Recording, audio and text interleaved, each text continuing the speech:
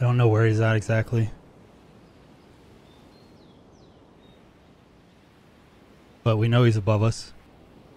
By the way, this is a 338 AP round. It hits different, at least with how the armor changes are. You'll see at the end of the video.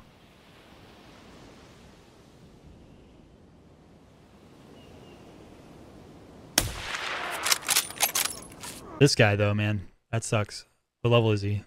He's 31 to 50. Damn, dude, look how much damage this did, by the way. Hit count four. We hit him one time, it hit four times. So we must have hit through his his arms.